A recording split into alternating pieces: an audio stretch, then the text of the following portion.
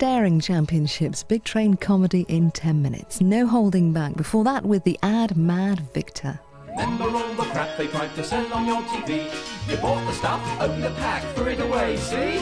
Crazy from the push button fun, Jimmy Osmond at number one. Space Dust made your tongue come alive, it was really cocaine for the under five. Nodding doggies, gollywoggies, Jason King Rick, Thingamajig, Old Spice, Brut and Hai, Karate, the smell of a 70s teenage party. Apron knickers, shoes called kickers, slim wheel hot pants, winkle pickers, Sindy dolls and x-ray specs, the nearest you could get to sex. Chopper lids and nylon bedding, the rotten white suit you bought for a wedding. And there's the evidence. They're great! Well, they're not, Tony. They're crap. Lads and tonight, Not another TV program about ads. Good evening. My name is Victor. I'm a TV critic. I live in your television set. Oh, Tonight, Ads Infinitum visits the movies. For our feature presentation, a collection of bygone cinema ads that have never been shown before on British television. Unless, of course, this is a repeat broadcast, in which case I'm lying. No matter. A warm welcome to you all. Hope you'll thoroughly enjoy our programme. Tonight, food at the flicks. For centuries, Britain has produced the world's worst cuisine. Yes, it has. No, don't argue. Don't argue. I mean, if British food was any good, then Bombay and Beijing would be full of English takeaways. Coming soon to this cinema, Dora Bryan and Sir Gerald Nabarro as the gay couple take crack cocaine up their bum bum. In fact, the only time anybody actually enjoys British food is at the movies. Having full penetrative sex with an ironing board. And that's simply because it's so dark that we can't see what we're eating, which is why we leave the cinema looking like this. Visual gags. Don't you love them? Now is the time. Time for ice cream. Cinemas have traditionally flogged strange and exotic types of confectionery that were never on sale anywhere else, like this. New ice cream, fruit parfait. Cool, exciting, sophisticated. Sophisticated? It was frozen margarine with a cherry stuck on the top. Ugh. Cool, exciting, sophisticated, special. That's right, fruit parfait. It failed, of course, because the British wouldn't say foreign words like parfait in public. It was just the same with quenelle. Fucking hell. Cinema is all about fantasy. Wait a minute. For quenelle. Well, that's okay then. As I was saying, cinema is all about fantasy, and the biggest fantasy they expected you to fall for was the ridiculous idea that women like this would be working in your local flea pit. In fact, the only thing more revolting than the frozen margarine on sale on the tray was the miserable old cows and unshaven gentlemen who sold it. Of course, this was the 1960s, the height of the space race, and Britain was at the cutting edge of technology. Rocket tranquility. The Russians had Soyuz, Listen, uh, the Americans had Apollo, and the British had. Stand by for launching.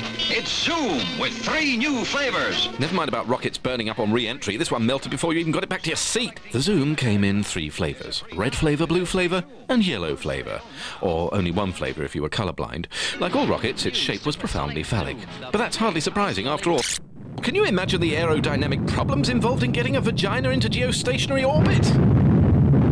So there were also more discreet versions for girls to pop in their mouths. And the first ice lolly specially for girls. As recommended by Lady Penelope.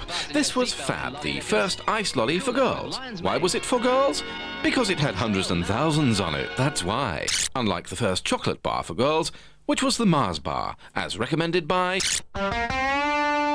Marianne Faithfull, who found it truly filling and satisfying. Tray on head, out tray, on her head, out, on the head, out tray, on head. Pray for me. Have a hot dog. What? A piping hot Frankfurter tucked in a fresh white roll. Mmm, they're great. Mmm, they're mechanically recovered BSE carcass meat. From Mars to sausages in one move. I hope you're enjoying my excellent links. No, not that sort of excellent links.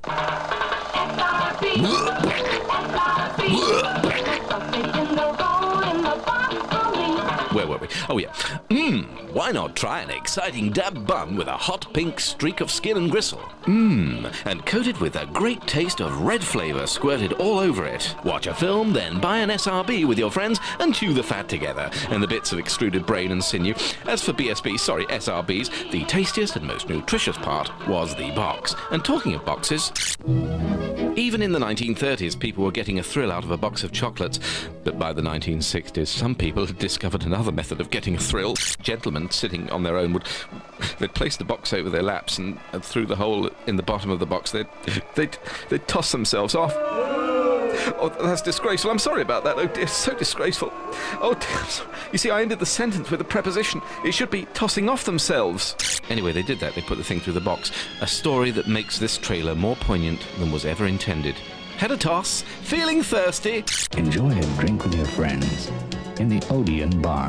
As a child, you longed to be old enough to buy alcoholic drinks, but when you finally could, you discovered that the ones they sold in cinemas were even more disgusting than the non alcoholic ones. This was not a drink so much as a device for getting women to assume a Y shape after the film. But frankly, you need a damn sight more than a Babycham to see the world like this.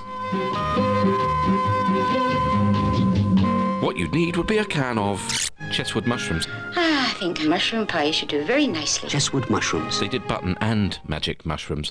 Pass some along, please. That's the way. Pass it along and help others to enjoy.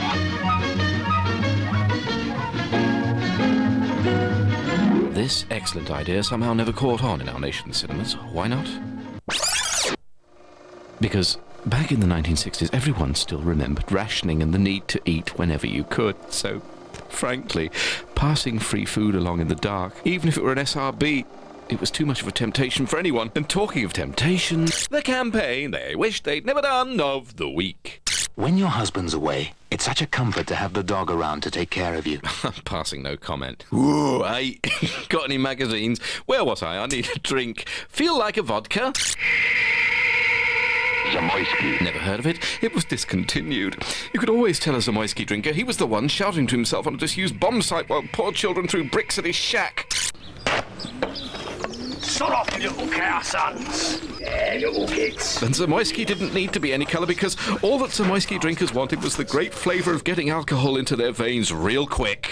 Goodbye, everybody. Safe journey home. Smashed on 60 Babycham and 10 quarts of Zamoyski from the Odeon Bar. Time to jump into that escort and learn something about nature that your biology teacher never taught you. That pillar boxes do nothing for ages, then suddenly leap out you in the dark when you've been drinking.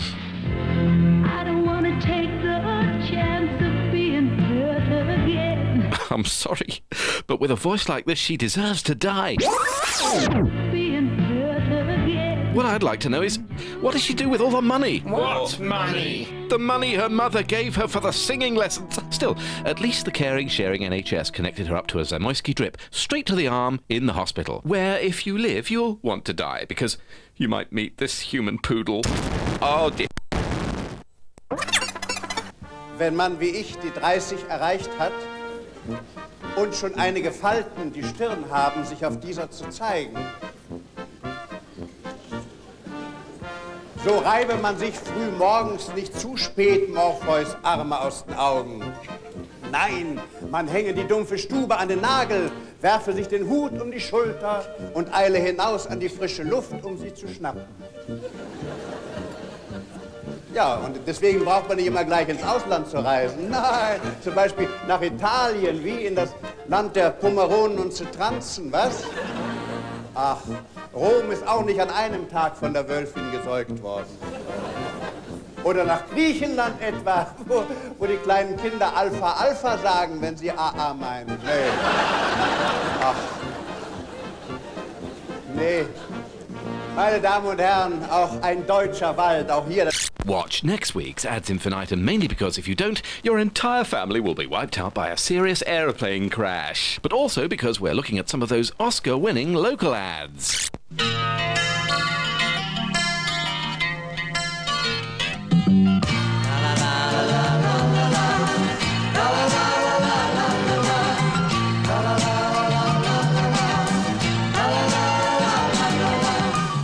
Cover your floors with the comfort of our quality carpets. Enjoy our little luxury. Come to Central Place Carpets at Trinity Place, Llandudno for great carpets. You can't miss us, we're just opposite the Wimpy Bar and only 50 yards from this cinema.